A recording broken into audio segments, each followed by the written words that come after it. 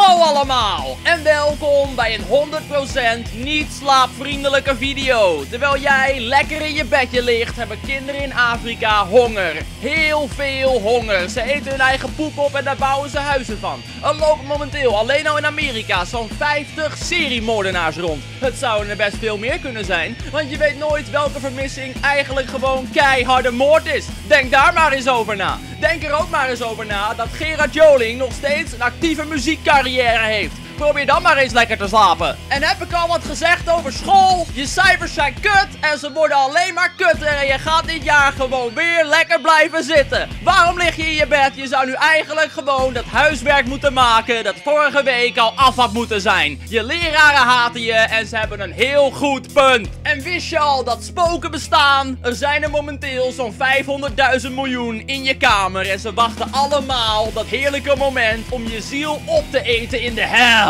Waar je voor altijd zult branden omdat je een verschrikkelijk persoon bent. En dat verzin ik niet ter plekke. Dat heb ik gehoord van je ouders en al je vrienden. Iedereen vindt je kut. En ik ben het daar volledig mee eens. Daarom zijn ik en een aantal Hells Angels druk bezig met een plan om je te vermoorden in je slaap. De hele samenleving zou er een stuk beter vanaf zijn als jij er niet meer was. Dus ga maar lekker slapen. Probeer het maar. En kijk maar of je morgen nog wakker wordt. Ach ja, wat maakt het ook uit? Iedereen waarom jij geeft, wat ze trouwens niet om jou doen, gaan ooit allemaal dood.